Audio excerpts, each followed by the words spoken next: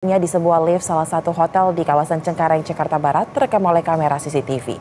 Berbekal rekaman CCTV itulah korban melaporkan kasus kepada pihak kepolisian. Inilah rekaman kamera CCTV saat seorang wanita menjadi korban penganiayaan oleh kekasihnya. Penganiayaan terjadi di lift sebuah hotel di kawasan Cengkareng, Jakarta Barat. Tak hanya penganiayaan secara fisik, korban juga mengalami penganiayaan verbal.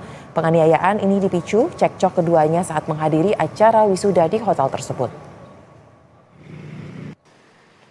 Berbekal rekaman CCTV, korban melaporkan kasus penganiayaan kepada pihak kepolisian. Menurut korban, pasca penganiayaan, korban terus mendapatkan ancaman dari pelaku.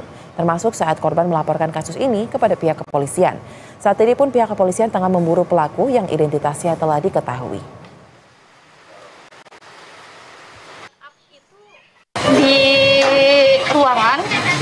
Waktu berantem di ruangan itu kita sempat kayak cekcok yang tadi aku jelasin kayak hal foto gitu deal segala macem. Aku nggak tanggepin dia ngatain cewek aku. Cewek murahan, cewek miskin, cewek numpang hidup. Itu semuanya demi Allah dia keluarin kayak gitu. Dan aku merasa sakit hati karena memang udah banyak ucapan-ucapan dia yang aku terima tapi aku diem. Pas uh, lift kebuka itu ada orang satu cowok keluar. Saya masuk berdua. Lift tertutup.